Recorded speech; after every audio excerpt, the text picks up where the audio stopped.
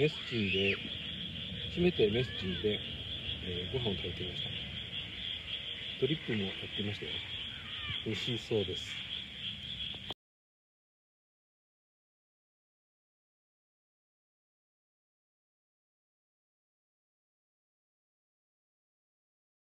おはようございます、えー、キャンプ泊をしました、えー、平成諏訪あ子どもの森というところで、えー、泊キャンプをしている今テントの中なんですけど寝袋今片付けてで、え、ストレッチとスクワットをやってランニングを1キロぐらい走ってきました。で今ちょっと着替えて着替えが終わってるとこです。で、えー、うん、実際に今ランタンが見えてると思うんですがえ100均で買った500円のランタンですけど非常にあの大活躍しました。で今見えるかな。あの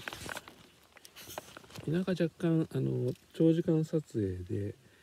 えー、天の川とかを撮ってたんですけど、えー、その充電をですねこんな風にしております。これ充電器諏訪沖の充電器ですね。で、えー、今バッテリーを充電しているところでございます。うん、であの思ったんですけどスバーキの充電器非常にあのよく持つからいいなと思ったのとえっとあと物置台にすごくいいな 物置台にすごくいいなっていう感じがしました。えー、安定感も多いんですけど安定感がありまして、うん、あのあとこういう小物を置くのに非常に適してるなっていうふうに思った次第ですだからなくさないで済むわけですね、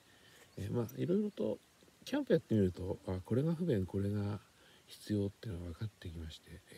まあこれであのコンサルティングの方にも役立てられるのかなというふうに思ってます。まずやってみないと分かんないから